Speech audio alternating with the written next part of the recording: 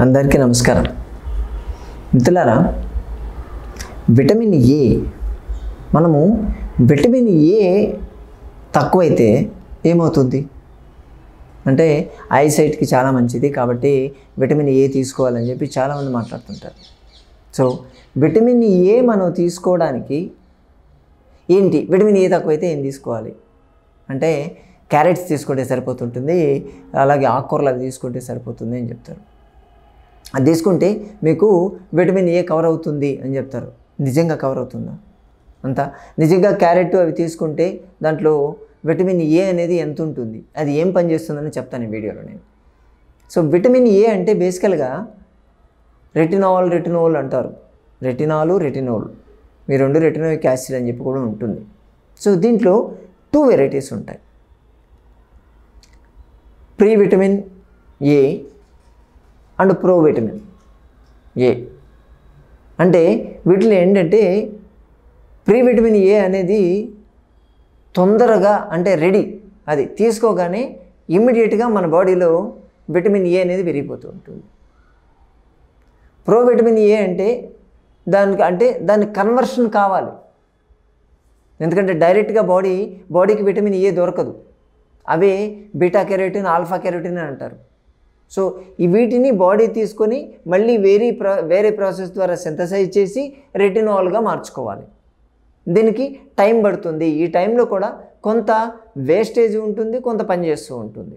ఇందులో ఇంకా ముఖ్యంగా చెప్పాల్సింది మన అబ్జార్ప్షన్ కెపాసిటీ కూడా ఉంటుంది. దాన్ని కన్వర్షన్ చేసుకోవడానికి కావాల్సినటువంటి క్యాపబిలిటీ బాడీ క్యాపబిలిటీ ఎలా ఉందో కూడా చాలా ఇంపార్టెంట్. సో ఇప్పుడు మనము ఈ క్యారెట్ తీసుకుంటున్నాం కదా. క్యారెట్ తీసుకుంటే దాంట్లో ఏముంటుంది? ప్రీ ఉంటుందా? ప్రో ఉంటుందా? ప్రో ఉంటుంది. బీటా కెరటిన్ ఉంటుంది దాంట్లో. రెటినాల్ ఉండదు. సో రెటి విటమిన్ ఏ అనేది డైరెక్ట్గా ఉండదు దాంట్లో. మనం క్యారెట్ తీసుకుంటే క్యారెట్ తీసుకున్నా క్యారెట్ జ్యూస్ తీసుకున్నా దాంట్లో ముందది బాడీ లోపలికి pro vitamin A beta carotene వస్తుంది. దాన్ని కన్వర్ట్ చేసి తీసుకోవడానికి చాలా టైం పడుతుంది.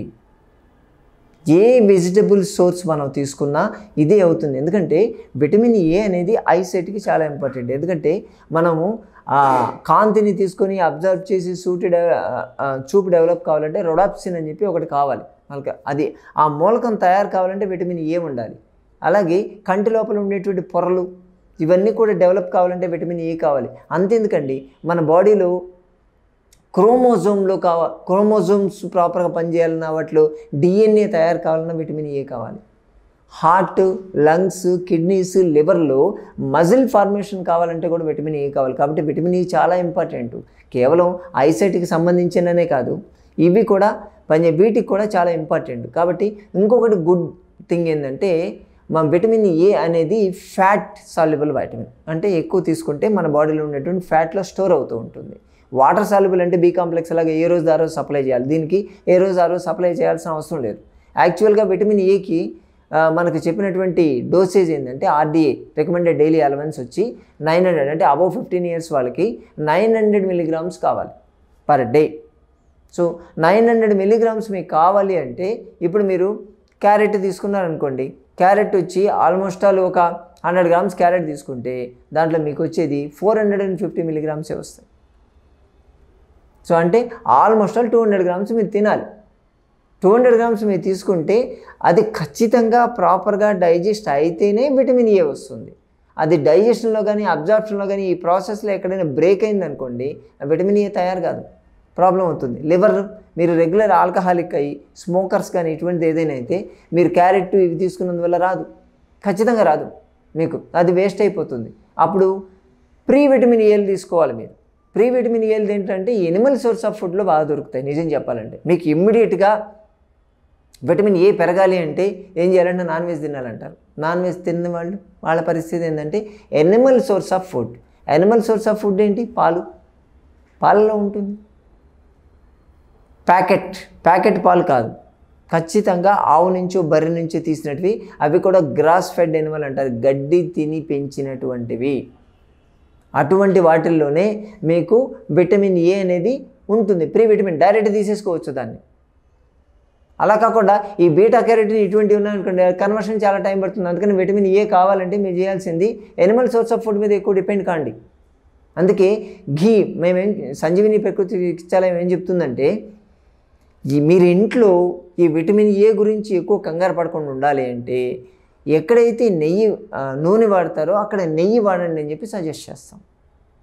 నూనెకి నెయ్యికి పెద్ద తేడా లేదు. చాలామంది భయపడతారు.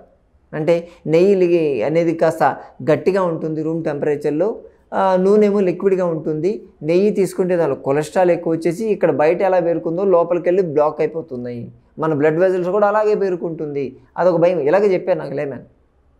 విలేజ్ నుంచి వచ్చిన వాళ్ళు. కాదు అదేం కాదు. దాని కన్సిస్టెన్సీ ఎలా ఉంటుంది దాంట్లో ఉండేటువంటి. కాకపోతే హండ్రెడ్ ఎంఎల్ నూనె తీసుకున్నా హండ్రెడ్ ఎంఎల్ నెయ్యి తీసుకున్నా నైన్ హండ్రెడ్ క్యాలరీసే వస్తాయి మీకు.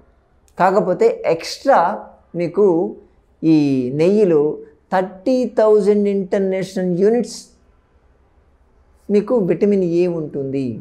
ఆల్మోస్ట్ ఆల్ థర్టీ థౌజండ్ అంటే మనకు హండ్రెడ్ ఎంఎల్ కానీ తీసుకుంటే పది రోజులకు సరిపడా విటమిన్ ఏ అనేది దాని దొరుకుతుంది. బ్రెయిన్లో సెల్స్ బ్రెయిన్లో ఉన్నటువంటి లేయర్స్ కూడా ఫార్మ్ ఫార్మేషన్లో పార్టిసిపేట్ చేసేది విటమిన్ ఏ. కాబట్టి memory power neurotransmitter activity కూడా బాగా చేస్తుంది విటమిన్ ఏ అందుకని మెమరీ పవర్ బాగుంటుంది బ్రెయిన్ కోఆర్డినేషన్ బాగుంటుంది హెడేక్స్ ఇటువంటివి కూడా రాకుండా ఉంటాయి. కాబట్టి ఎప్పుడైనా సరే మీకు విటమిన్ ఏ అంటే దీనికి బ్లడ్ టెస్ట్ చేయించుకోవచ్చు డెఫిషియన్సీ ఎలా ఉందనేది. ప్లాస్మా రెటినాల్ వచ్చి అది ట్వంటీ మైక్రోగ్రామ్స్ కన్నా తక్కువ ఉంది అనుకోండి సారీ ట్వంటీ మిలీగ్రామ్స్ కన్నా తక్కువ ఉంది అనుకోండి మీకు విటమిన్ ఏ డెఫిషియన్సీ ఉన్నట్లు లెక్క. ఆ డెఫిషియన్సీ ఉంటే ముందు మీరు చేయాల్సింది స్టార్ట్ చేసింది ఎనిమల్ సోర్స్ ఆఫ్ ఫుడ్ ముందు. దాని మీద డిపెండ్ కానీ నేను క్యారెట్ తీసుకున్నాను క్యారెట్ తింటున్నాను లేకపోతే క్యారెట్ జ్యూసులు తాగుతున్నాను నాకు వచ్చేసిందని చెప్పి చక్కలు కొట్టుకుంటే లాభం లేదు. రాదు. వచ్చే గ్యారంటీ లేదు. వస్తుందని నమ్మకం కూడా లేదు. మనకు దొరికేటువంటి క్యారెట్లు ఏంటో ఎక్కడి నుంచి తెచ్చారో ఏమో తెలియదు. దానికి ఎన్ని పెస్టిసైడ్స్ కొట్టారో కూడా తెలియదు. కానీ గ్యారంటీగా మనకు విటమిన్ ఏ e పెరిగేది ఈ నెయ్యి. ఖచ్చితంగా కొంచెం వెళ్ళి మళ్ళీ అక్కడికి వెళ్ళి అన్నపూర్ణలో లేకపోతే ఏదో ఆశీర్వాదం ఏదో దిక్కుమాల కంపెనీలు కొనొద్దు. బయట మనకు తెలిసిన వాడు ఎవరి దగ్గరికైనా వెళ్ళి బర్రె దగ్గర బర్రెలు ఆవులు ఉన్న వాళ్ళ దగ్గరికి వెళ్ళి వాళ్ళ దగ్గర నుంచి పాలు తీసుకొచ్చి దాన్ని కాగబెట్టి పెరుగు చేసుకొని దాంట్లో నెయ్యి ద్వారా కాచుకోవడం అనేది సేఫ్ గ్యారంటీ ఉంటుంది అక్కడ. కొంచెం పని ఉంటుంది అంతే ఎక్స్ట్రా. అది తీసుకుంటే దానివల్ల విటమిన్ ఏ అనేది మ్యాక్సిమం పెరుగుతుంది. దీన్ని తీసుకోవాలి. పాలకూరలో కూడా ఎక్కువ ఉంటుంది అంటారు పాలకూర పెస్టిసైడ్స్ లేకుండా ఉంటే పర్లేదు. అలాగే గింజల్లో కూడా ఉంటుంది గుమ్మడి గింజలు పంకిన్ సీడ్స్ అంటారు కదా వీటిల్లో కూడా విటమిన్ ఏ దొరుకుతుంది. కాకపోతే ఇవన్నీ వెజిటబుల్ సోర్సెస్ వీటిల్లో ఉండేది ప్రీ విటమిన్స్ ఇవన్నీ. ప్రీ విటమిన్ ఏ అవంత అందరుగా కన్వర్ట్ అవుతాయని గ్యారంటీ లేదు నమ్మలేం కాబట్టి. అసలే మన డైజెషన్ కెపాసిటీ ఈ రోజులో మరీ చండాలంగా ఉంటుంది. ఏదో ఆడ దొరికి ఆ కేఎఫ్సీలో మెక్డోనాల్డ్ ఆ గడ్డి గేదం తినడం అలవాటు పడ్డాం మనం. అందుకని అవైతే ఈజీగా డైజెస్ట్ అయిపోతాయి. ఎందుకంటే అవన్నీ ఆల్రెడీ ప్రాసెస్డ్ అంటే ప్రాసెస్డ్ ఫుడ్ అంటే ఆల్రెడీ ఒకటి నమిలి ఊసేసినాయి అనుకోండి. అది ఆల్రెడీ సగం డైజెస్టెడ్ దాన్ని మనం తింటున్నాం. మనం తినేసరికి ఓకే. ఆ, బాగానే ఉంది. బాగానే ఉంది అనుకుంటున్నాం. ఎనర్జీ వచ్చేస్తుంది. అది పోతుంది. లోపలికి పోయి అవి చేసే నానా దరిద్రాలు లోపల చేస్తున్నాయి. కానీ ఇవన్నీ న్యాచురల్గా దొరికేటువంటి ఫుడ్ని డైజెస్ట్ చేసుకునేటువంటి కెపాసిటీ అసలు అలవాటు పోయింది. కాబట్టి అందుకని అటువంటి సోర్స్ మీద డిపెండ్ అయ్యేదానికన్నా కూడా ఎప్పుడైనా సరే విటమిన్ ఏ తక్కువ ఉంటే ఇటువంటి ఎనిమల్ సోర్స్ ఆఫ్ ఫుడ్ అంటే నాన్ వెజ్ తినే వాళ్ళు అయితే ఇంకా బెటరు వాళ్ళు తొందరగానే పెంచుకోవచ్చు. వెజిటేరియన్స్ అనుకునే వాళ్ళు కొంచెం ఈ పాలు పాల సంబంధమైన పదార్థాలు గ్రాస్ ఫెడ్ ఎనిమల్ ద్వారా వచ్చేటివి తీసుకోగలిగితే మన బాడీలో విటమిన్ ఏ పెరుగుతుంది? విటమిన్ ఏ కూడా చాలా చాలా ఇంపార్టెంట్ కేవలం ఆ బి కాంప్లెక్స్ విటమిన్స్ లేకపోతే ఆ విటమిన్ సి వీటి మీద కూర్చోవద్దండి. రెసిస్టెన్స్ పవర్ పెరగాలన్నా మీ బాడీలో మ్యుటేషన్స్ ప్రాపర్గా జరగాలన్నా డిఎన్ఏ హెల్దీగా ఉండాలన్నా కానీ మీకు విటమిన్ ఏ కావాలి. కాబట్టి కొంత ఎంతో కొంత లైట్ అయితే విటమిన్ ఏ మీద మీకు ఒక అవగాహన అయితే కల్పించామని మేము అనుకుంటున్నాము. అలాగే సోమవారం బుధవారం శుక్రవారం శనివారం ఈ నాలుగు రోజుల్లో హైదరాబాద్ మైనాబాద్ జేబీటీ కాలేజ్ దగ్గర ఉన్నటువంటి సంజీవిని ప్రకృతాశ్రమానికి మీరు రావచ్చు. మీకున్నటువంటి ఆరోగ్య సమస్య గురించి స్వయంగా చర్చించి పరిష్కార మార్గాలు తెలుసుకోవచ్చు. అలాగే మన చికి ఏ చికిత్సా విధానాలతో మన ఆశ్రమంలో నయం చేస్తారో కూడా తెలుసుకోవచ్చు. ఇది పూర్తిగా ఉచితం. మరోసారి మరో వీడియోతో మళ్ళీ కలుసుకుందాం. నమస్తే.